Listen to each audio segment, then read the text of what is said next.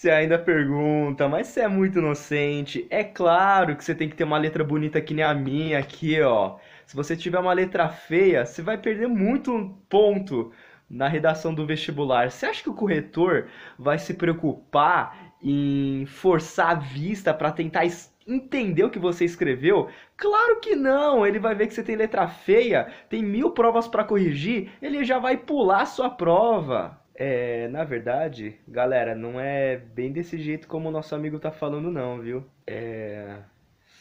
Um, bom, o Diogão falou, tá falado, né? Ah, quer saber?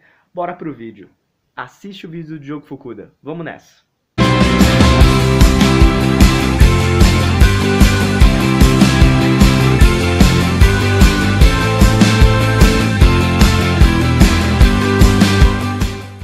Galera, aqui é o Diogo Fukuda, beleza?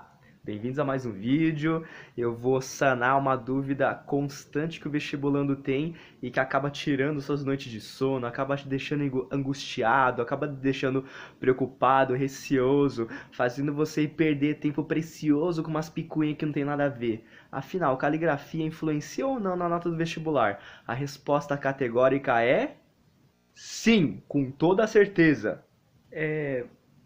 Ai, eu, eu, eu, eu acho que eu acho que sim, viu? Eu, acho que letra feia piora a sua nota sim, né? Porque como é que.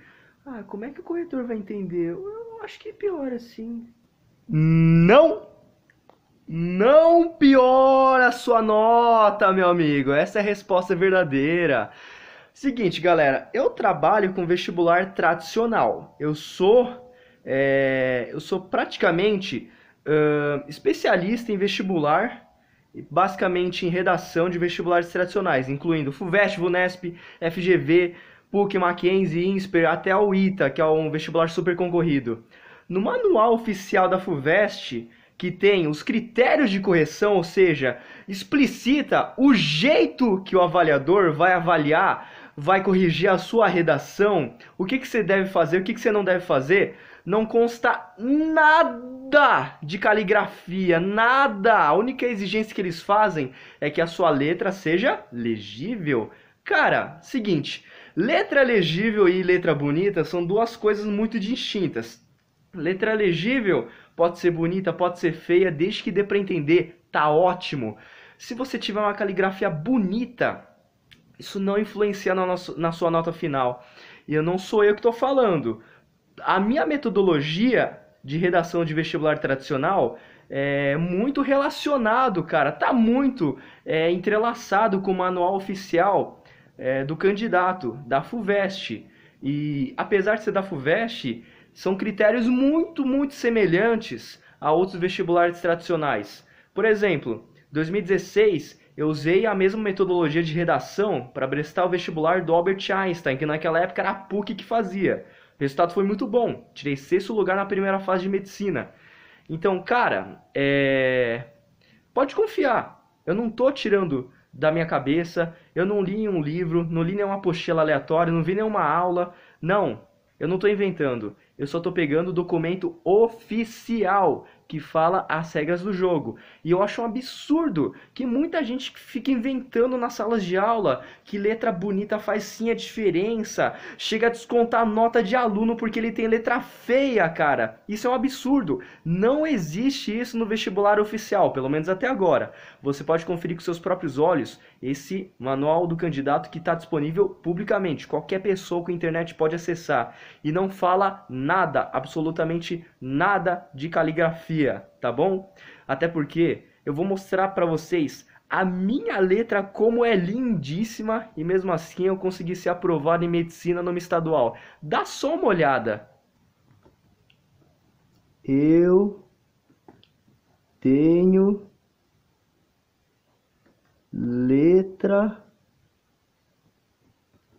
feia.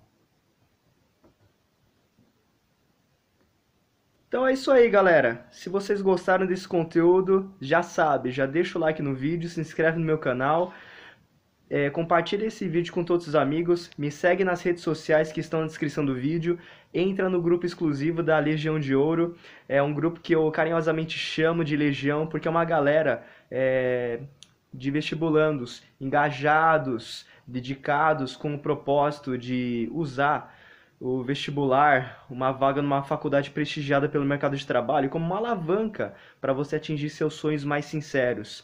E você vai poder receber conteúdos preparados pessoalmente por mim sobre o vestibular, conteúdos gratuitos que eu estou postando constantemente nesse grupo, beleza? Então fica ligado, o link está aqui na descrição do vídeo. E outra coisa, quer receber mais presente? Claro, eu preparei um presentão como uma forma de retribuição a você e todas as pessoas que confiam e acompanham o meu trabalho eu escrevi um e-book gratuito ensinando é, como você pode escrever uma redação extraordinária em apenas três passos, que serve como uma espécie de passaporte para aprovação.